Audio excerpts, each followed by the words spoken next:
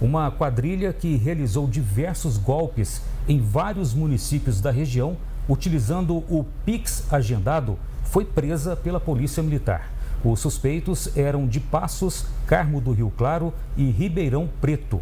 Eles foram identificados enquanto tentavam fazer uma compra em São Sebastião do Paraíso. Dois homens de 35 e 40 anos e uma mulher de 23 circulavam pela região central de Paraíso tentando aplicar golpes em lojistas da cidade. No golpe do Pix agendado, o criminoso realiza a compra e, no momento do pagamento, faz um agendamento do Pix. Em seguida, ele apresenta o comprovante do suposto pagamento para a vítima. Na sequência, ele cancela a transação, enviando que a empresa afetada fica sem receber o pagamento devido.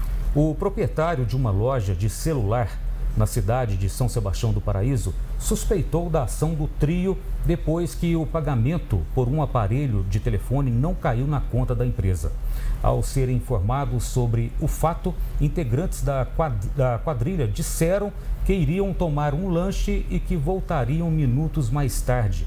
Assim que os homens e a mulher saíram, o lojista acionou a polícia. Diante da denúncia, policiais iniciaram as buscas e receberam informações de que o trio havia entrado em um veículo e seguido pela rodovia MGC 491 rumo ao município de Monte Santo de Minas.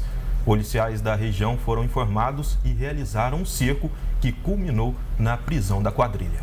Vítimas nas cidades de Passos e Itaú de Minas também já foram identificadas. A quadrilha já havia realizado outros golpes em Campestre, Serrania e Bandeira do Sul. Os suspeitos foram presos pelo crime de estelionato.